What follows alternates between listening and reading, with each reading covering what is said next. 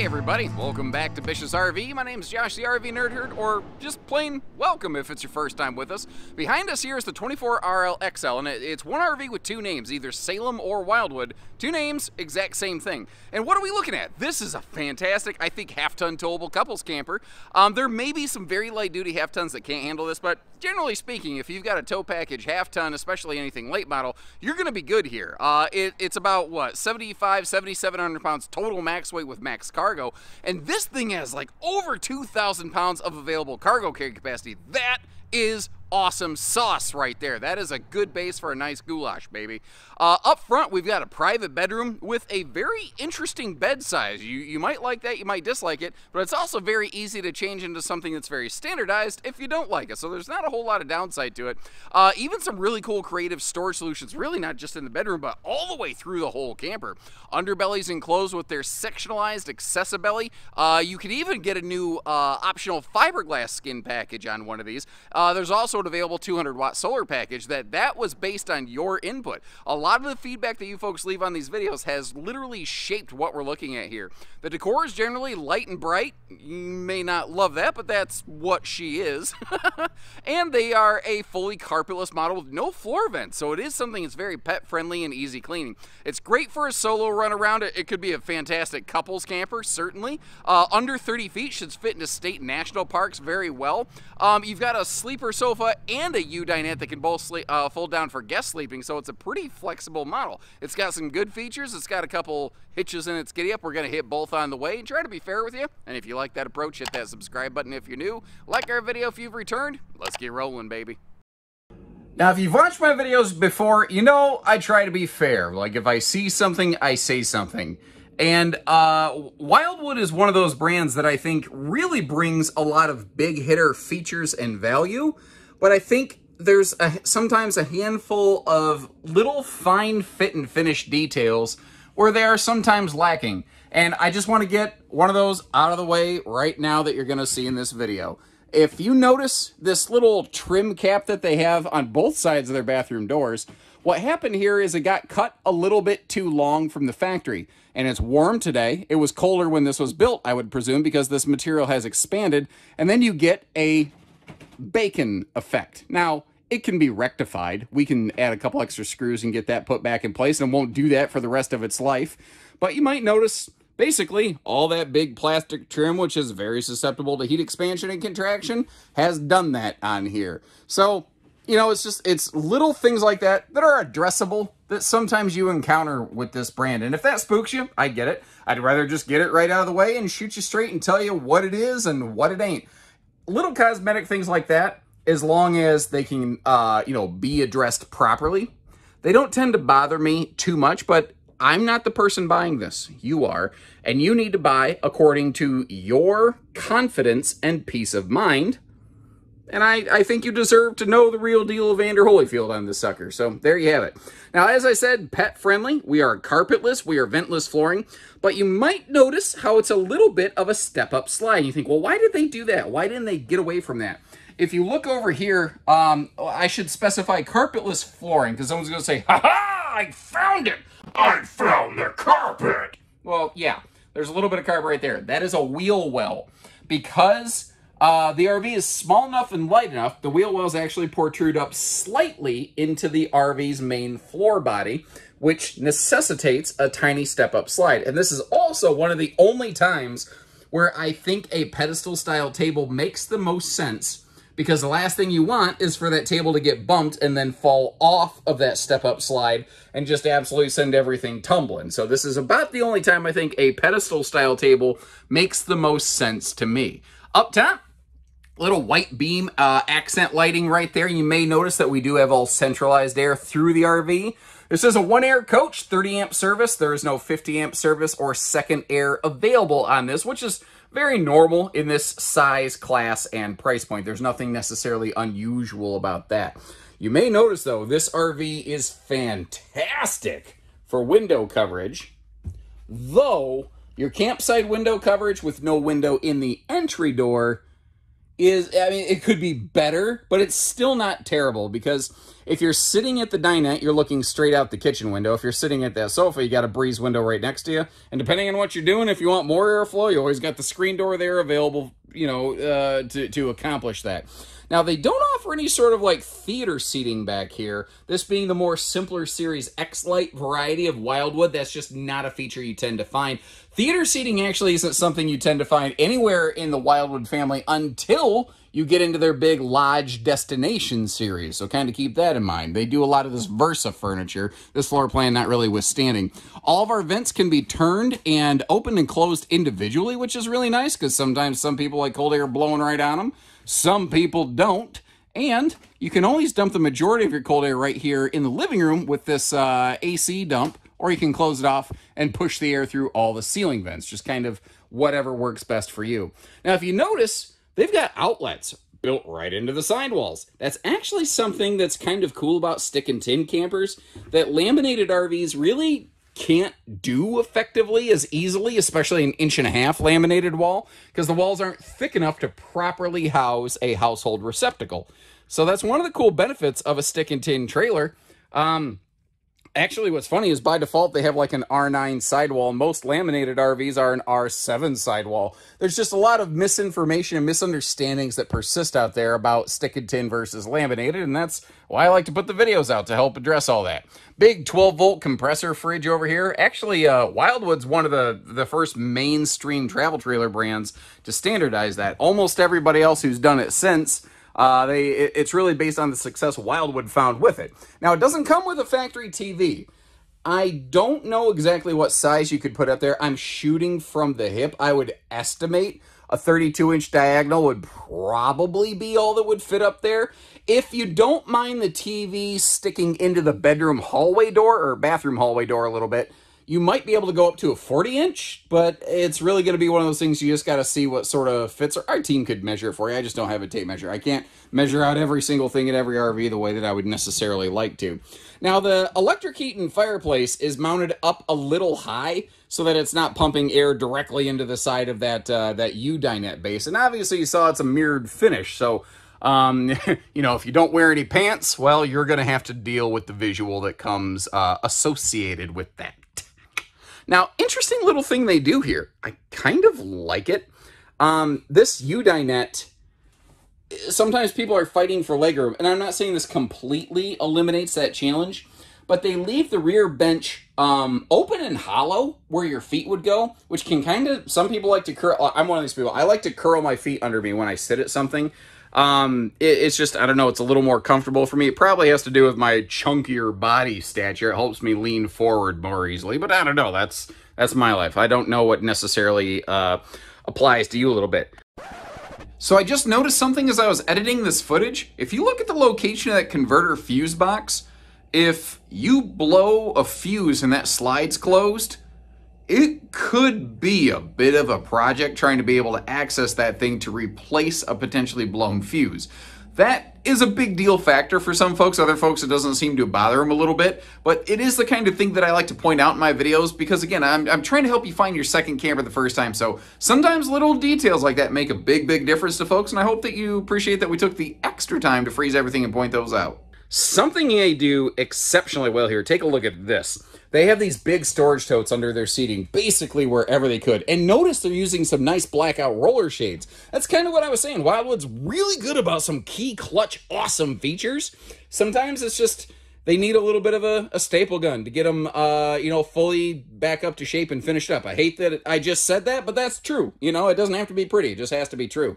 Uh, again, if you're going to have some guests between this, the sofa in the back and the dinette, you could have four people sleeping in here with everybody uh, having their own spaces, other than, of course, whoever's uh, sleeping in the front bedroom. Chances are you're uh, doing the Sir Mix-a-Lot double up in there, but um, you get the idea. Now, an interesting thing over here in your uh, in your main living cavity, our ceiling lights are actually attached to a dimmer switch, the little control panel on the side of the uh, upper cabinet right when you walk in the door. The bottom thing you're looking at there is actually a dimmer.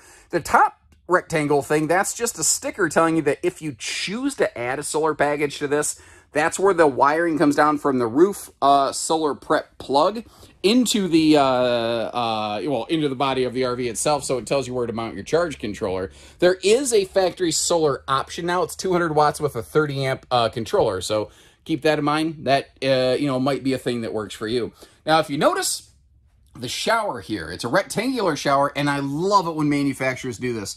They put that big radius bar at the top there so that it gives you elbow room. Now, the RV is only six and a half foot tall. This is an X-Lite. The full Big Brother Wildwood is six foot nine. So full Wildwoods, my head does not have to be in the skylight. But if you noticed, they mounted that skylight at the perfect position in front of that little shower wand right there, where it really was not an issue. And you see how you've got a full like floor to ceiling shower surround paneling in here. Now, pardon my dirty shoes. Before a customer takes one of these home, we'd obviously go through and uh, give it a bath, you know. Now, we've talked about this. It's a bummer that it's there, but again, trying to be real about it. Backing up a little bit, facing toward the back of the camper, like if you woke up in the morning and headed into the bathroom, this is kind of what you would see right here. And that right-hand wall, considering it's a stick-built camper, for me, it's just begging for like one or two towel bars up there. Now, I prefer towel bars instead of a towel hook. I just feel like they dry out better, but they do eat up more real estate, so kind of keep that in mind a little bit. Now, uh, down here, our corner toilet, take a look at this. That is about as fluffy, friendly as it can possibly get right there. Then, you've got a nice little corner pocket right there for some uh, I, would probably keep some extra toilet paper or something there, a couple extra rolls, the old butt napkins. And beside that, we have our first of two linen cabinets built right into the bathroom uh, of this thing. Now, this is a walk-through bathroom. Some folks love a walk-through bathroom because it gives you a really big bathroom without actually adding extra, uh, unnecessarily extra length into the RV, although they did make this one pretty sizable. Um, a uh, some people dislike a walk-through bathroom because like if someone's using the bathroom and you're trying to get up to the bedroom or vice versa, it can kind of leave you locked out a little bit. That's not everybody's uh, preference. Now, these right here, they look like they are absolutely massive chunks of storage. And all of the space behind those doors is storage, but it's not all here in the bathroom. If you take a look there, you can see how these are a little bit more shallow shelves than some of the other ones. Um, I think I just did that in reverse order. If that made you motion sick, I do apologize. That was not necessarily my intention there. Uh, but behind that, there's more storage in the bedroom and a bonus closet. You kind of saw a little peek of that in our little floor plan uh, in a flash. Now, both sides of the bed have the same blackout roller shades. They have the same, uh, you know, like like breeze window. Well, they're different shape, but they're both breeze windows. They've got household and USB plugs on both sides of the bed. And here is a very interesting thing. This they they call it a custom king bed. It's a 66 inch wide width. Well, wide width. Is that like the time in London and England? God, I'm stupid. Um, or it is, uh, not or, and it's a 78 inch length. That is essentially what is called an Olympic Queen, which is an uncommon size of mattress, but it is a traditional standardized size of mattress. The thing is, everything under that mattress is still queen sized. So if you just wanted a normal queen bed, that is something that you could do with this. Now, uh, if you notice, I left that cabinet open, and if we look down inside there, I mentioned you saw, or it had household and USB outlets. If you didn't know, the, the household outlets were actually hidden kind of inside those little side cubbies. And then with a pair of easy lift gas struts, you see that under the bed, you've got actually access into the pass-through, but uh, additionally, you also have um, storage in the, uh, the, the way of like those little tote dresser things. Plus there's a little laundry hamper. We'll get an interesting look at that from the other side as well. And again, behind the shower, they don't waste that space. They open it up into the bedroom. So this little camper, 29 foot long basically, doesn't have a bed slide, but it has a lot of the big potential storage of a bed slide. Something else this one has, if my memory's not mistaken, is pretty good road mode access, but we'll see if I get myself trapped in here. Yeah, I might have spoken a little bit too soon. Okay, so uh, obviously I'm up in the bedroom and I crawled my way back up here just for continuity in the video, but if you notice, it gets awful tight right here, especially where that tabletop comes right up next to the counter. Now, in case you're wondering why the tabletop's jihad, it's because I had to pop it out of place. I just quick slotted it back in place and I didn't get it squared up. So that's on me. That's not on Wildwood. But if we pop that tabletop out of the way, which isn't really hard, we do have a little bit of an opportunity here. Now, don't get me wrong, this is not the biggest gap I've ever walked through, but my chicken legs can do the sideways travel trailer two-step, and this is nothing more than just a cushion.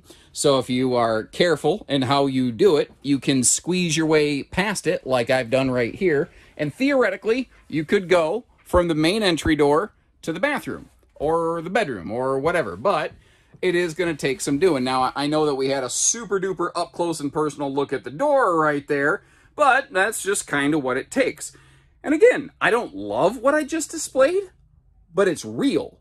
And that is the genuine article right here. And before you go spending thousands and thousands of dollars, I think you deserve to know the uh, a deeper, you know, look at this thing. And if you appreciate that, maybe hit that subscribe button or just at least leave us a note. Said, man, that was going to be a deal breaker, but appreciate it. Thank you for showing us that. We got other campers that might work for you. People will sometimes ask me, you know, when you put those specs and those spec charts in your videos, like, is that the total length? Is that just the box length? What I try to use, just for your reference, are what I call like the worst case scenario stats. So the absolute longest tip to tail length, the total height measurement, and one thing that I really recommend you pay attention to when you're trying to pair up with a tow vehicle is the GVW or max weight as I have it listed in those spec charts.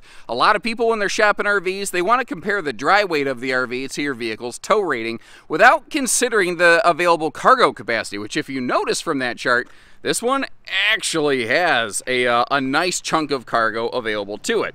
So if you're not paying attention, you could overload your vehicle. Now to help kind of connect those dots, um, I walked out here, well, I lugged out here that big heavy box with that travel trailer weight distribution and anti-sway hitch in it for a couple reasons. One, just to kind of illustrate again, it doesn't take a large object to eat up a lot of weight out of your cargo capacity and to kind of show you how much cargo space you do have available under here. It's a pretty nice thing they've done. Uh, little laundry hamper over here off the bedroom. We kind of saw it from the inside, but again, when you uh, when you get home, it's nice to just be able to pop open the cargo door, and whether you get a separate laundry basket or use like that little uh, you know, laundry bag, as it were. It, it's kind of handy just to have everything right there. You can just pull that stuff out. Now, if you look at that front clearance light, uh, that marker light right next to the baggage door over there, below it you see a black switch. That is for the uh, power stabilizer jacks that you can put on these as an optional item. By default, these have manual stabilizers, although they are a variety of manual stabilizer that actually has an additional strong arm stabilizer bar built into them, so they're actually very, very sturdy. Uh, but you can put power jacks on these if you want. Speaking of other things you can do, you can also put a fiberglass skin on this RV if you want. They call that their platinum package.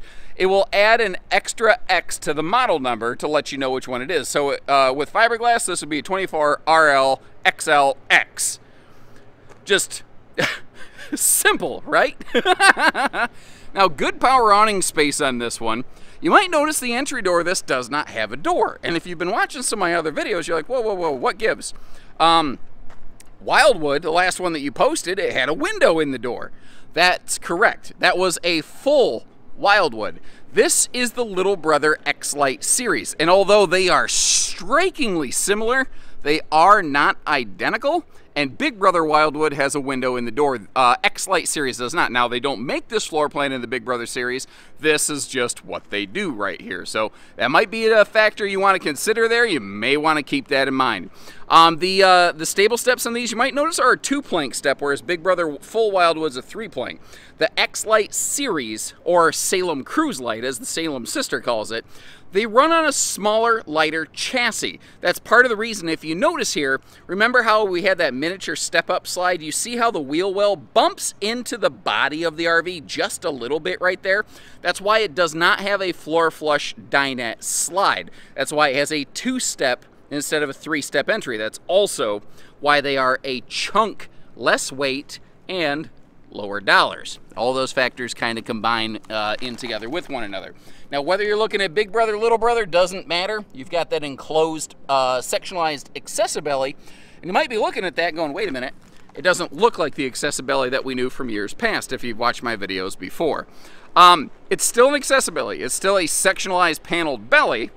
It's just not those same uh, ABS plastic panels that they had been using. Um, The uh, I, I don't know why they switched over. I just know that they did. So there you go. One of the updates that I'm really happy to see on this, by the way, is that they are finally now including at least prep for one of those telescopic ladders. Uh, right here from the factory because the roof is and has been fully walkable, but a lot of people don't realize that. Now, it's not so much of an issue on this floor plan, but there are a lot of people who have seen those ladder mounts sometimes directly above a spare tire.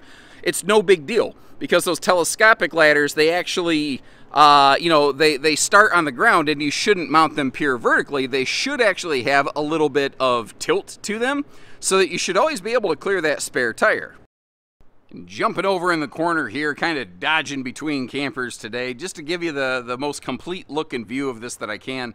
One other thing I want to mention is if you do with, uh, go with the Platinum Fiberglass series, the windows gain a much heavier tint that the standard series does not have, although no matter what, you will be looking at, uh, you know, these airflow windows, the same windows all the way around. The windows won't change. And, in case you noticed, the slide up here is slide awning ready. So if that's something that you're interested in, that's something that we could get slapped on here for you pretty easily. And depending on what you want to do, we could even have that rolled into your uh, RV financing if you're looking at financing an RV. That being said, the best recommendation I can give you is try to keep pieces, parts, and accessories out of your financing because by the time interest accrues on those, it'll be the most expensive slide awnings you've ever seen, man. And remember, if you don't like the look of that corrugated skin that we're looking at right here, they do have an optional fiberglass package. They call it Platinum Edition. Even though it's not platinum in color, it's just a stark white fiberglass. It actually looks, I think, really, really sleek on these things. But it adds some weight it takes away from your cargo capacity. It adds some money. So there's there's pushes and pulls to everything. That's why I like to leave you a link in the video description. Uh, you can see what we have in stock because we may have the fiberglass skin models in stock. Uh, and again, we have them in stock in both Salem and Wildwood, and you'll find pricing available right there. Now, um, if you'd prefer just a little bit different look of things, Cherokee under their Grey Wolf family makes a strikingly similar floor plan wouldn't you know it, we've got video footage of that. Check that link in the video description. If you'd like to kind of do an A-B comparison, I'd be kind of curious to know, hear from you. Which one would you go with and why? And until next time, take care, stay safe, have fun, and happy camping, everyone.